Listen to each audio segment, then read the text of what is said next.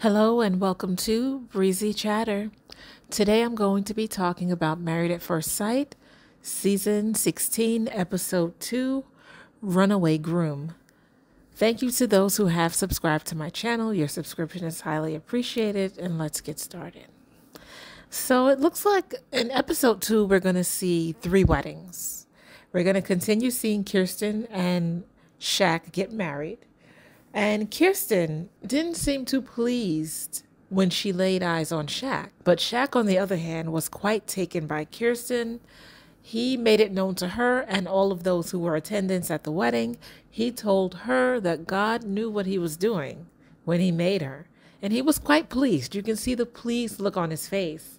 And it's kind of sad to watch because we all can tell that Kirsten is not interested in Shaq romantically. She's not attracted to him. Their vows were nice. Uh, Kirsten said that she was going to express her true feelings, and she said she was going to give the marriage her all.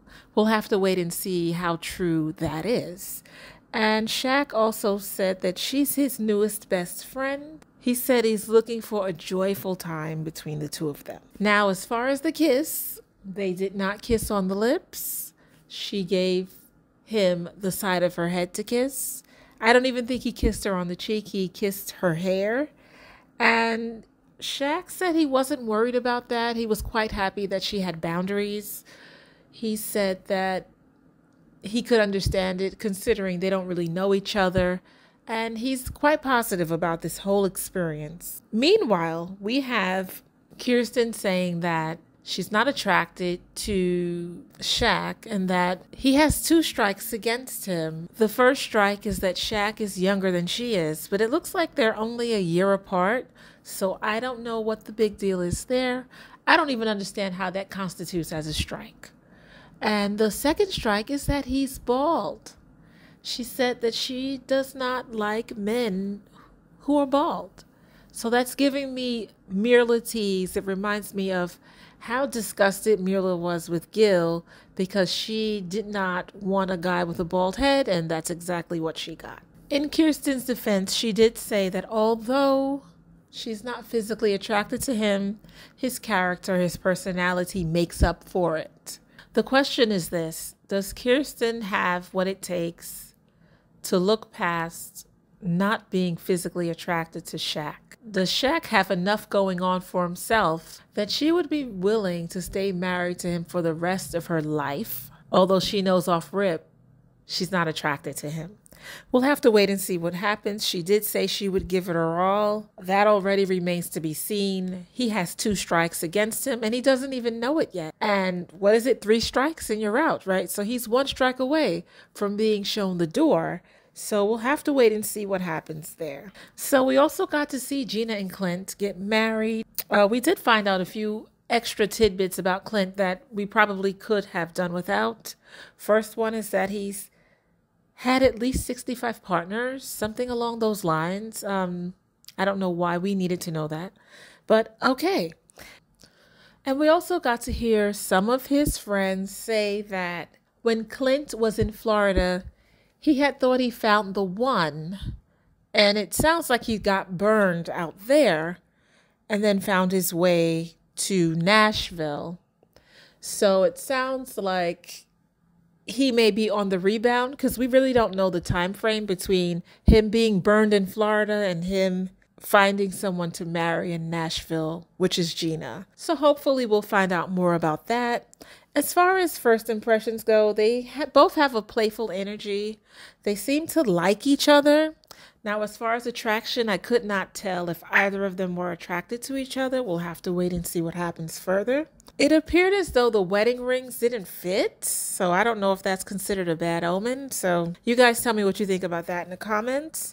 And as they got to talk a little bit, they found out that they both live in the same building. And our final wedding for episode two was Nicole and Chris. I think they had a really good first impression. There was no awkward looks, no looks of disappointment.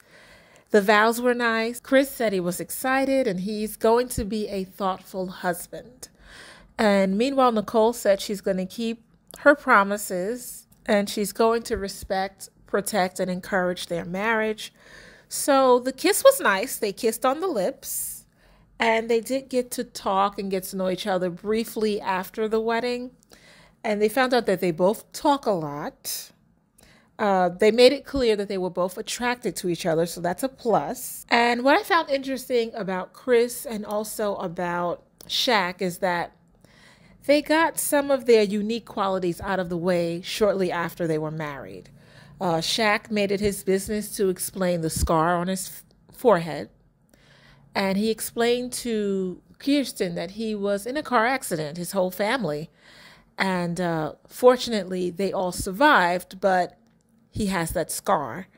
And then we have also Chris explaining to Nicole how he had an injury at work and he lost a part of his finger. And Nicole was really cool about it. She said she's not bothered by it. And it sort of reaffirms what I thought about them in the first place. I really think that they will stay together. We have two more weddings to see. In episode three, we're going to see Jasmine and Airris get married. And we're also going to see Domynique and Mackinley get married. And maybe at that point, we'll find out what's the drama that's going on between Domynique and Mackinley, because clearly there's something going on there. We're also going to get to see the receptions, and that's where things get interesting because then the families start to grill the married couples. We're going to have skeptics, of course. Most most parents are not too pleased to find out that their child is signed up to marry a stranger. So we're going to have Toya asking Mackinley all kinds of questions. Nicole's father is going to be grilling Chris.